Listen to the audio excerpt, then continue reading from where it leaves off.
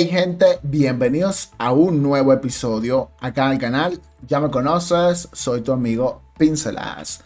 Hoy te traigo un video de esta gorda, algo que me tiene sin palabras. De verdad que este video es bien, es mal.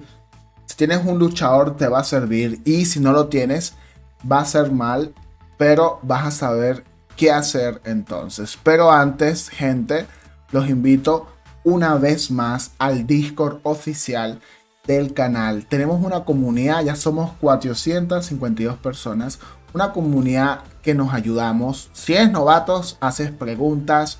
Hay un chat general bastante activo. Hay un chat de voz donde la gente juega. Puedes hacer dúo, puedes hacer squad. Y anoche jugamos Liga Diamante, experto, maestro y campeón. Hicimos unos, unos escuadrones, sincronizamos y jugamos bastante, bastante bien hasta las 4 de la mañana. Entonces, pues te invito, simplemente vas al enlace que está en el comentario fijado, aceptas la solicitud de la invitación y te explico cómo vas a hacer, ojo con esta parte. Cuando aceptas la solicitud, te va a mandar a este canal. Este canal son las normas del Discord. Simplemente tienes que reaccionar a esto, ¿sí?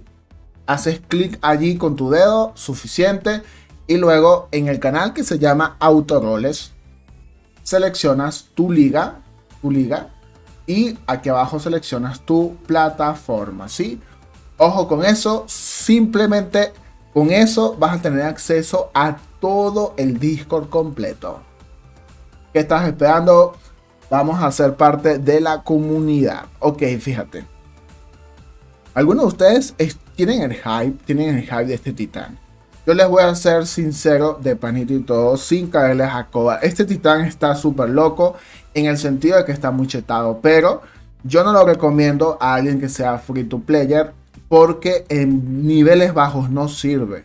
En niveles bajos es extremadamente vulnerable y te lo van a destruir. Entonces, si estás inexperto hacia abajo, sí te lo aconsejo porque te va a funcionar. Pero ya en maestro y en campeón, si te consigues a alguien como yo, va a ser complicado ganar. ¿Qué módulos son los que la gente más usa? Dos anti-control y dos Cannibal Reactor es lo que yo uso porque juego solo. Yo me enfoco mucho en hacerle daño a los titanes enemigos. Ahora, actualmente con la meta que hay de tantos tanques, la mayoría de jugadores de ligas altas lo están usando con dos anti-matter reactors, ¿sí? De estos. Dos de estos es lo que lo están ocupando en ligas un poquito más altas para hacerles daño a los Revenants y a los tanques. Y ayer probé dos anti-control y dos Plated Armor Kit, sí, de esto. Y el Titán llegó como que a un millón doscientos de durabilidad y fue bastante difícil que me lo destruyeran. Ahora, ¿cuál es el problema? Por cierto, mira mi hangar, tengo el Fafnir este que es bellísimo. De verdad que es bellísimo. Lo estoy usando por lo que sucede actualmente en el juego en Liga Campeón. Y estoy usando a este bebé. Déjame en los comentarios si quieres ver un video de este bebé así. De verdad que me ha gustado bastante, ¿sí? Ok, te voy a presentar el gameplay. De verdad que esto me alarma por dos razones. Razón número uno. Yo, de verdad, fíjense, aquí estoy usando un Orochi. Estaba tratando de ver eh, muchas personas me han preguntado que si vale la pena la piloto Brigitte que te da tres saltos o mejor el piloto Loteo que aumenta la cadencia de los misiles, ¿sí? De la, de la habilidad. Ok, estaba probando eso en mi propia cuenta. Y bueno, este, este Orochi a mí no me gusta mucho. De verdad que no es lo mío. Pero a pesar de eso lo estaba probando, ¿sí? El problema se viene a dar, gente, con el bendito titán luchador, las benditas armas Cinder y la nave nodriza que se llama Manti. Pero te preguntabas por qué pinceladas es un problema, no sé qué, que la Manti no es igual que la otra que te mata de un disparo. Ok. El problema es que en una cuenta como la mía, que es full maxiada, cuando tienes el titán luchador, eh, puedes activar tantas veces, literal, tantas veces la nave mantis, que suele ser imposible destruir al titán luchador. Ve viendo esta batalla que los enemigos estaban teniendo un mejor control del campo de batalla, ¿sí? Nos estaban jodiendo vulgarmente. Fíjate, un clan que se llama RC1, ese clan es bueno. Este Chicken, Chicken Wing también estaba bueno, ¿sí? La cuestión es que íbamos perdiendo y fíjate el detalle cuando saco el titán y cómo cambia la balanza. Eso no significa que el titán esté chetado, obviamente. Pero sí que sí la activación continua tan rápido de la mantis lo vuelve chetado. ¿Cuál sería la solución? Porque bueno, me gustaría dar una solución. Déjame la tuya en los comentarios, pero te voy a dar la mía. A mí en lo particular me parece más justo que todas las armas pudiesen cargar las naves espaciales de la misma forma. Yo sé que es imposible para el juego hacer eso, porque todas las armas tienen características distintas, hacen daño de forma distinta, ¿sí? Pero eh, me parece a mí que lo que pasa con el titán luchador, la Cinder y la Mantis está un poquito fuera de control.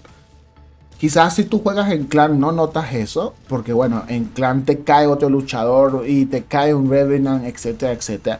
Pero cuando juegas con gente, digamos que normal, sí, eh, randoms, sí que sí notas bastante ese impacto de la mantis. Yo estaba usando mi luchador full escopetas y bueno, eh, me puse poco a poco a ver qué pasaba con la Cinder.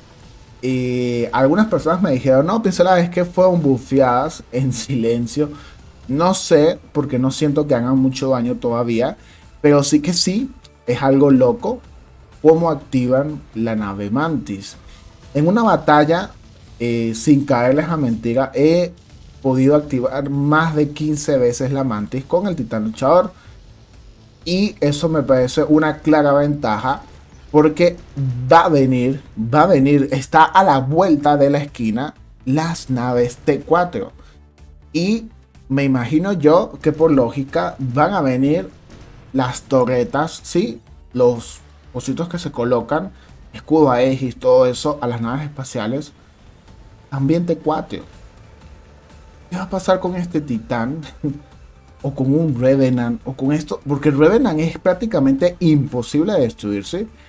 Entonces, ¿qué va a pasar? ¿Sea que los escudos Aegis van a tener más durabilidad? ¿Sea que la habilidad de sanación va a ser mucho más alta? Fíjate aquí este detalle. Íbamos perdiendo en el consumo de energía de control de balizas.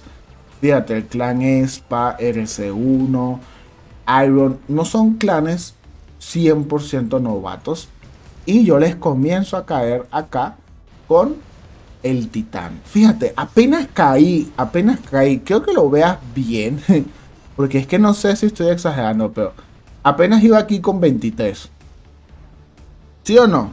Apenas salté caí con la explosión y accioné la Cinder. ¿Y cómo es que llegué a 100 ya? ¿Cómo es? O sea, que me explique por qué sucede esto con este titán. No sucede con los otros titanes los mismos. Yo sé que son las Cinder porque ya lo probé. Poco de dramatismo acá, pero fíjate cuántas veces comienzo y comienzo a accionar la mantis. La mantis se vuelve claramente una ventaja, un problema. Ahí viene un titán de Chicken Wing, estaba en 140, porque al, final, al final vemos los los niveles. Y fíjate que vuelvo y acciono otra vez la mantis. Y ya va en 50, 70, 80. Pero que alguien detenga ese, ese porcentaje. De verdad que es algo loco. Y ya tengo la mantis otra vez. Y como les digo, si yo salgo y hay enemigos, enemigos Revenant que son bastante fuertes para bajarles la vida, acciono muchísimas veces. Literal, muchísimas veces el arma, la, nave espacial Cinder. De verdad es que esta partida es un claro ejemplo de que esa, no sé cómo llamarlo, ese porcentaje de acumulación de la Mantis tiene que ser arreglado con la Cinder porque está loco. Está loco. Y si funciona así de loco, no debería de funcionar así. Pero yo quiero tu opinión. Déjame tu opinión. Pincelaje, esto me parece loco. O pincelaje, esto me parece normal. Más bien funciona poco. Fíjate, este titán está a nivel 150.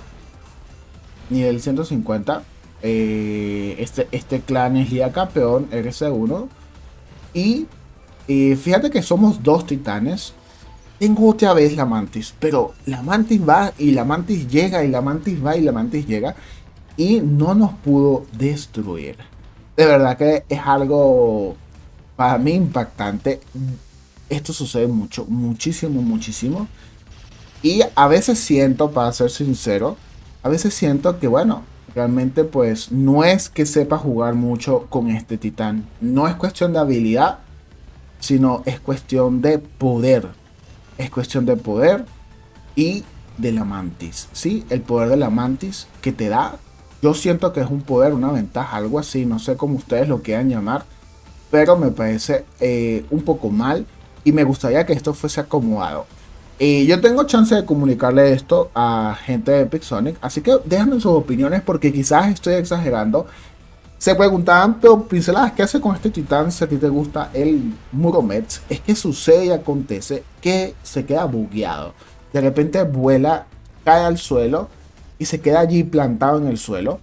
Y eh, pierdo al titán. Y bueno, saben que el día campeón, el Muromets, si un Hawk me da un Kamehameha bien dado, listo, adiós al titán.